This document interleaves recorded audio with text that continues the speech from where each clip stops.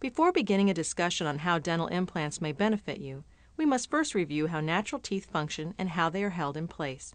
We will also discuss options to replace missing teeth. The bone making up your upper and lower jaw functions to hold your teeth in place much like the ground around a fence post. The forces applied to your teeth are directly transmitted to the bone. Not only does this make your bite feel solid, but the chewing forces being transmitted directly to the bone stimulates the bone to continue supporting the teeth. This bone-tooth relationship is critical in that the bone helps hold the teeth and the teeth help to maintain the bone. In the tooth-bone relationship, losing one causes the loss of the other. Studies show that there can be approximately 4 millimeters of bone loss in the first year alone after a tooth is extracted. Teeth can be lost for a variety of reasons. Periodontitis or gum disease is a disease that damages the bone around teeth that can eventually lead to tooth loss.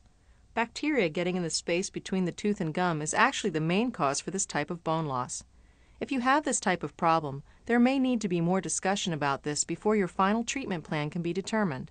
Teeth can be lost for a variety of other reasons as well, such as an accident or injury, dental decay, cysts or lesions. Some teeth may never develop and erupt into the mouth.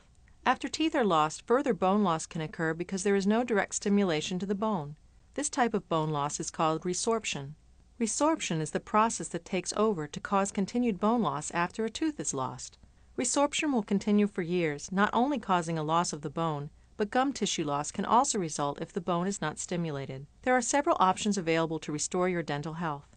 During this presentation, these options will be discussed. The decisions you make will greatly affect the appearance of your smile, your ability to speak and eat, and the maintenance of your long-term oral health.